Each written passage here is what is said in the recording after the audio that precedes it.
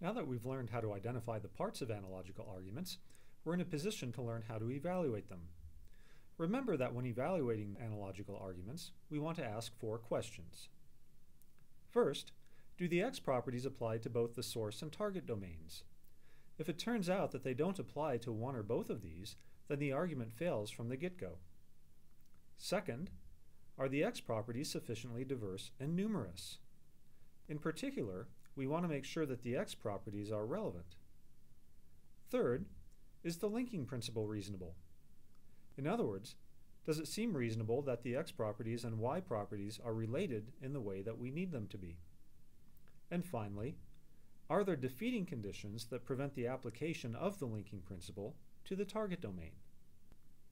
To see how these questions work in practice, let's again consider one of the arguments from the previous lecture. Children generally choose things that bring them immediate gratification over what will benefit their long-term interests. That's why families work best when they have a strong authoritarian structure. Similarly, citizens generally favor those policies that will have an immediate impact on their well-being, even when those policies will harm them in the long run. Thus, countries will similarly work best when they adopt authoritarian political structures. So the first question then is whether the X properties apply to both the source and target domains. In this case, the argument is claiming that the ruled in families, that is children, and in countries, that is citizens, frequently choose their short-term interests at the expense of their long-term interests. This isn't a universally true claim, but it isn't unreasonable. We can move on to the second question.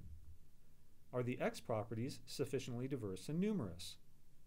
Arguably, the inference fails on this point.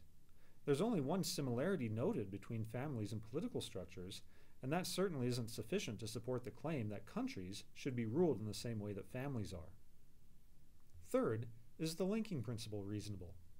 Remember in this argument, the linking principle is that when the ruled are more concerned about their short-term over their long-term interests, it's best that they be ruled according to some authoritarian structure. But this, of course, is weak.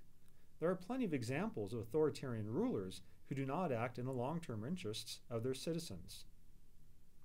And finally, are there certain defeating conditions that would prevent the application of the linking principle to the target domain? The target domain in this example is states, and in those situations, authoritarian rulers don't always have the interests of citizens at heart. In this way, states are very different from families. Authoritarian rulers in states are very different from parents. And secondly, citizens are adults.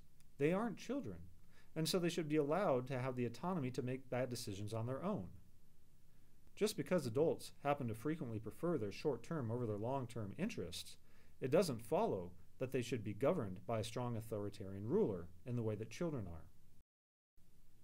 Learning to ask these four questions and to apply the criteria that they contain will help us significantly in evaluating analogical arguments, as well as constructing effective arguments of our own.